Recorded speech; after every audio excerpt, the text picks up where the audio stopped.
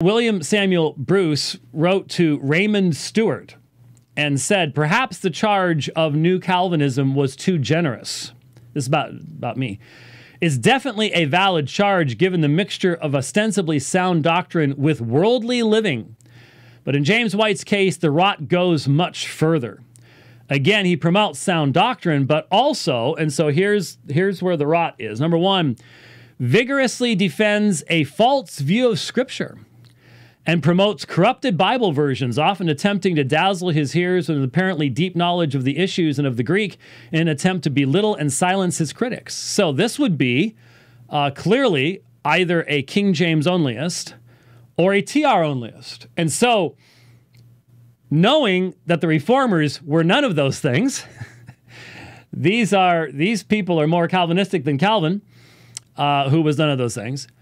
But uh, so the first thing you say is it's a false view of Scripture. Now remember, I'm the guy that defends inerrancy. I'm the guy that defends the fact that we, we continue to possess all the original readings and the manuscripts of the New Testament today. I have defended this in mosques and against atheists. I've debated Bart Ehrman, etc., etc., etc. But I have a false view, vigorously defends a false view. Well, I will vigorously defend the view of Scripture the vast majority of Reformed scholarship today holds over against these folks who do not hold the perspective that the vast majority of Reformed scholarship hold, that, that present a view of Scripture that the translators of the King James Version did not hold. They're the ones with the oddities when it comes to their view of Scripture.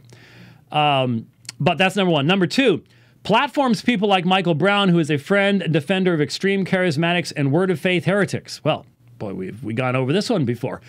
Once again, ignoring the reality that while Michael and I have done a tremendous number of things together, such as um, I still think one of the longest, most in depth exegetical discussions of the Hebrew text of Isaiah 53, um, one of the most in depth defenses of the doctrine of the Trinity against Unitarians, Michael Brown and I. Um, a startlingly clear refutation, far clearer than anything I've ever heard from these guys.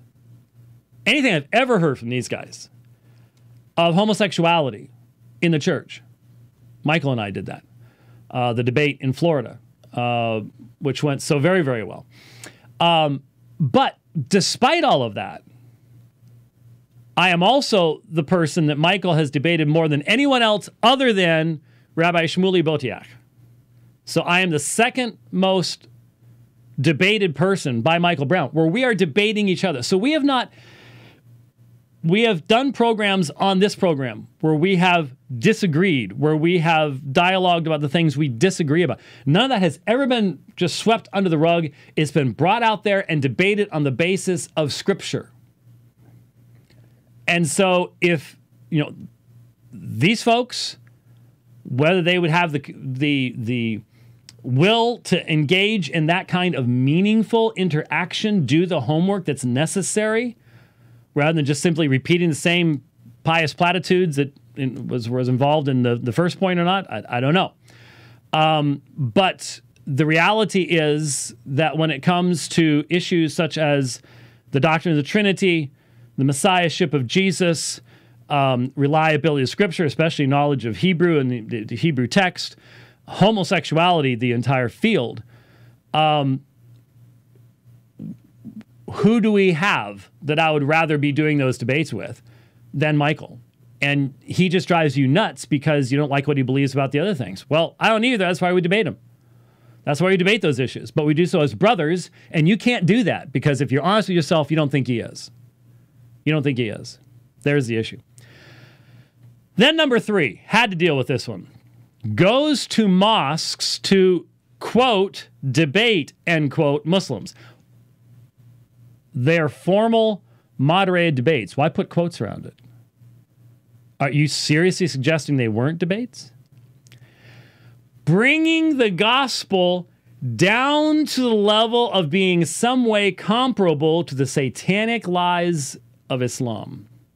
Meanwhile, the Muslim debaters love him because he gives them ammunition for their claims the Bible is corrupted.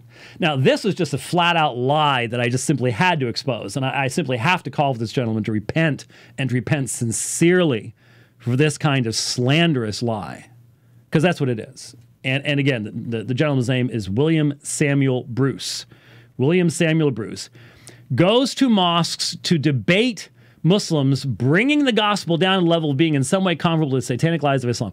I wonder if all of those Calvinist missionaries that first brought the gospel to Muslims are not turning over in their graves at what has happened to the people they left back at home that have become this cold to missions work.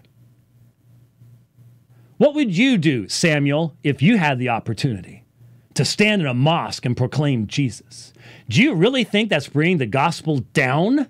Why? On what level? Give me some kind of meaningful argumentation from Scripture. Was Paul bringing the gospel down to the level of Jewish mythology to proclaim the gospel in synagogues? How about Roman mythology for proclaiming it in Roman cities, in, in, the, in the marketplaces? Is that what they were doing? Of course not. This is just pure, pure slander. It's just absurd.